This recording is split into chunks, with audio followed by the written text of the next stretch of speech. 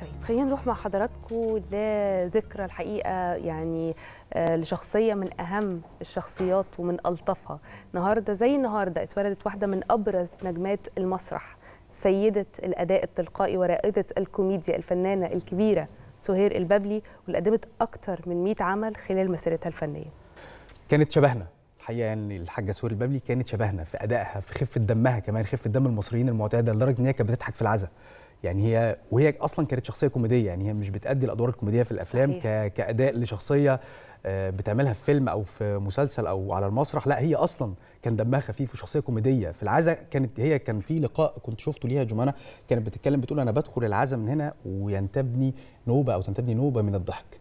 بفضل أضحك على كل الناس اللي قاعدة في العزاء بفضل أضحك الناس دي لابسة كده ليه؟ آه، ألاقي واحدة في الأربعين تقعد تقول ده الله يرحمه ده كان حنين. هي بقى اللي بتقول يعني وهو كان شاب يموت من 40 من 40 يوم فهي كانت آه، تلقائية. بالفطرة وكان دمها خفيف. دي هي حياتها كانت أصلا. شخصية فعلا خفيفة ولطيفة على قلوبنا وكان دايما بتدخل قلوبنا كده وبتدخل بيوتنا الحقيقة بمنتهى الأريحية ومن غير استئذان يمكن كمان من يعني الحقيقة من أبرز النجمات اللي لحد النهاردة إفيهاتها عايشة معانا. يعني على طول بنقولها وعلى طول بنسمعها حتى الأجيال الجديدة. لما بنبص حتى على مواقع التواصل الاجتماعي الفيديوهات اللي بيعملوها دايما حتى بيعملوا لأجزاء من أعمالها. صحيح. في في في فيديو كان منتشر قوي بتاع كان نفسي في كروة ثنائية هموت.